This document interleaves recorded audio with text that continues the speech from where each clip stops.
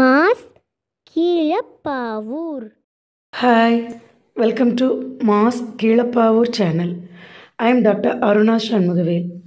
In this video, we are going to learn about the middle part of Norma basalis that extends from posterior free border of hard palate up to the imaginary line drawn through the anterior margin of foramen magnum. Before starting the session, let us see a quote. You can't climb the ladder of success with your hands in your pockets. The bones seen in the middle part of Norma basalis are infratemporal surface of greater wing of sphenoid, inferior surface of petrous part of temporal bone, tympanic and squamous part of temporal bone, basilar part of occipital bone. The middle part of Norma basalis has a bar of bone in the middle. This bar is formed by body of sphenoid bone and basi occiput. The joint between these two is synchondrosis and completes at the age of 25. 1 centimeter anterior to the anterior margin of foramen magnum, a tubercle is seen called pharyngeal tubercle. This tubercle gives attachment to median raphe of pharynx, superior constrictor, pharyngobasilar fascia, and buccopharyngeal fascia. Immediately lateral to pharyngeal tubercle, longus capitis muscle is attached. Just behind this attachment, that is anterior to occipital condyle, rectus capitis anterior muscle is attached. The other features seen in the lateral area are pterygoid process, foramen ovale, foramen spinosum, foramen lacerum, spine of sphenoid, sulcus tubae, carotid canal, mandibular fossa. Let us see one by one. The pterygoid process or paired process of sphenoid bone. Each process has two plates, medial pterygoid plate and lateral pterygoid plate. The two plates are fused in the upper part and separated in the lower part by pterygoid fissure. Between the two pterygoid plates, there is a space called pterygoid fossa. This fossa is filled by deep head of medial pterygoid muscle. The posterior border of medial pterygoid plate bifurcates in its upper end and forms boundary for scaphoid fossa. This fossa gives origin to the muscle tensor veli palatini. The lower end of medial pterygoid plate shows a hook-like projection called pterygoid hamulus. The tendon of tensor veli palatini winds round the pterygoid hamulus. Pterygoid hamulus gives attachment to pterygomandibular raphe. The lateral pterygoid plate gives origin to lower head of lateral pterygoid muscle from its lateral surface.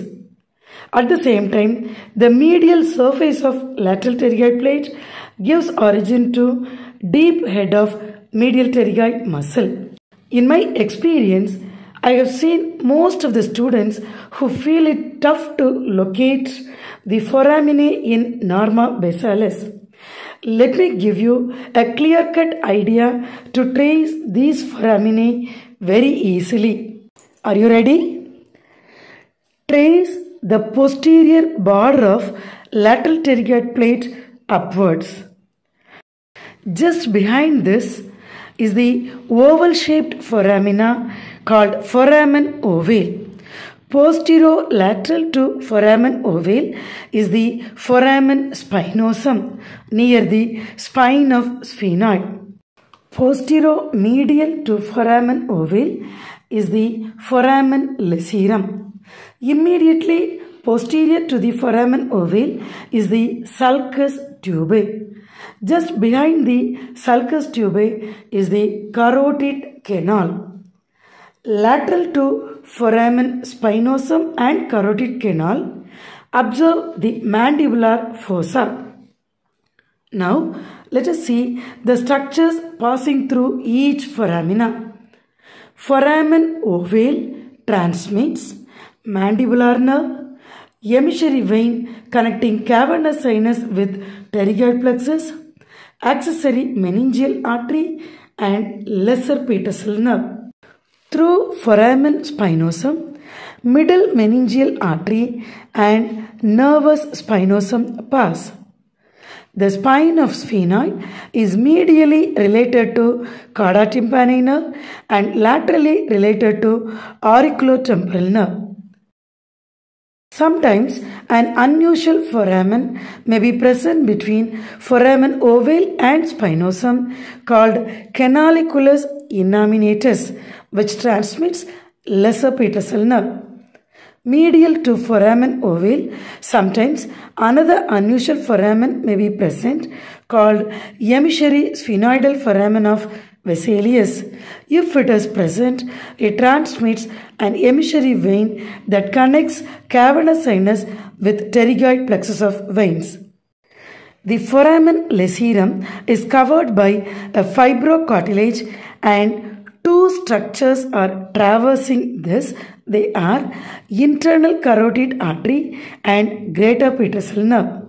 The structures passing through foramen lacerum are meningeal branch of ascending pharyngeal artery and emissary vein connecting cavernous sinus with pharyngeal plexus of veins. The sulcus tubae lodges cartilaginous part of auditory tube. The carotid canal transmits internal carotid artery and sympathetic plexus around it. The mandibular fossa has articular and non-articular parts. The articular part is seen in squamous part of temporal bone and non-articular part is formed by tympanic plate. The articular part is anteriorly limited by articular eminence and articulates with condyle of mandible to form temporomandibular joint. The non-articular part is related to parotid gland. Between the articular and non-articular parts, squamotympanic fissure is seen which is divided into two petrosquamous and petrotympanic by the downturned anterior edge of tegmen tympani. In petrosquamous fissure, there are no structures and in petrotympanic fissure, there are three structures passing and Remember, all the three are related to middle ear cavity and start with the word anterior. What are these structures?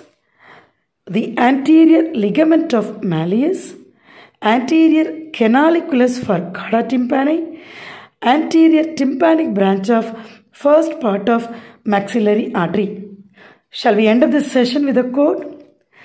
Take care of your body it is the only place you have to live. Thank you for watching. If you like this video, don't forget to subscribe and click the bell icon select all to get instant notifications.